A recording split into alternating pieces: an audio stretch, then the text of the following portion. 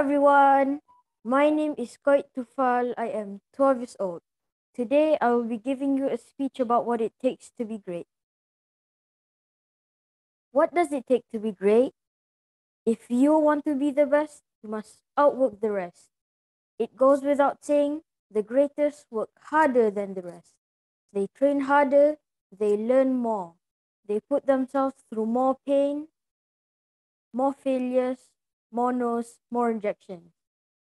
If your opponent does 10, you do 11. If they do 11, you do 12. If they do 12, you do 13, 14, 15, whatever it takes. Sure, some of the greatest have talent, but none of that talent would ever be realized as greatness. If they didn't put in the work, on the other side, think of all those with little talent that have created magic. With effort, effort will get you whatever you want in life.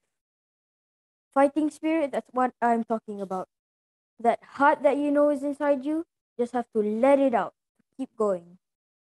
When life has you on the canvas, when everything seems to be conspiring to stop you, to hold you back, but you say no, not today. The strength to fight back, the heart to fight through unexpected obstacles, the determination to smash through unexpected challenges.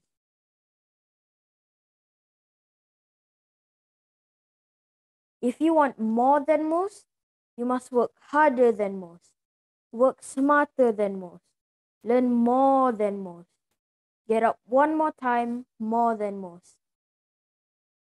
There's not one secret to success. It's in your work ethic. It's in your sacrifice. It's in your consistency. It's in sticking it out despite setbacks. It's not one thing, it's everything.